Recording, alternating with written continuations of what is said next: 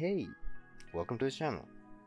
I've tried multiple export settings for getting the best quality of video on Instagram and this is what's best according to me.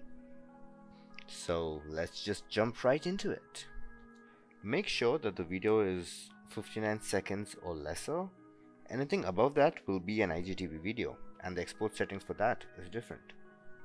Once you finish editing, adding music and all that, head over to file hover over export and click on media. So this is where you'll have to make all the changes. The first change you'll have to make is in the format. Make sure it's h.264 and leave everything else alone. Output name this is very very very important because this is where your file will be stored once you convert it into an mp4 file once you export it so make sure you know where you're saving it. I'm saving it at the desktop right now so that I know that it's saved in the desktop. Name it whatever you want. And export video checked export audio checked. Next comes the resolution. I would recommend scaling down to 720p because that's the best according to me for Instagram videos.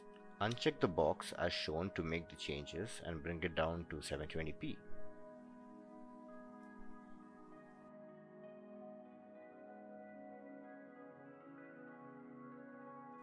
Next comes the frame rate. This is very important. Make sure that the frame rate is 30. If it's not, just uncheck as I did and bring it down to 30. And leave everything else as it is and make sure you check render at maximum depth. Everything else is default. Now comes the bitrate settings which is very very very important.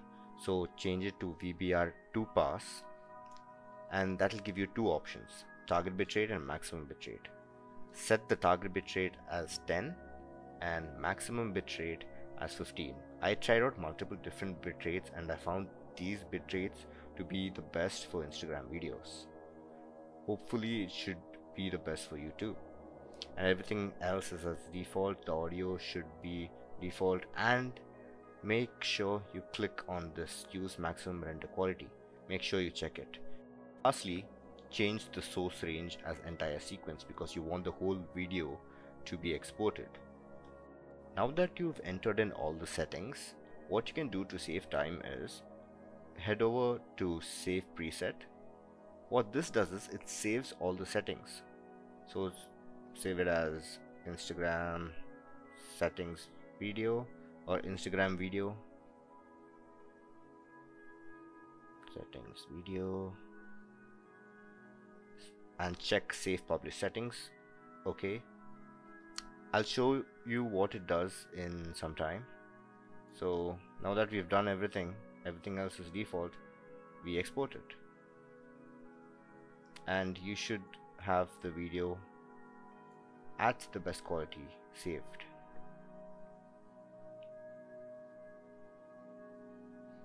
Now let's look at what the preset does. So basically the same procedure once you're done making the file just go to media.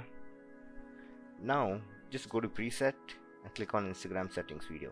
That's all you have to do. Once you click on that all the settings that you made before will be presetted if that's even a word into the settings. So all you have to do is click on Instagram settings video or the preset that you saved and then change it to entire sequence and export it. That's it. Simple as that. I hope this video helped you guys out. If it did let me know in the comments and make sure you subscribe. Thank you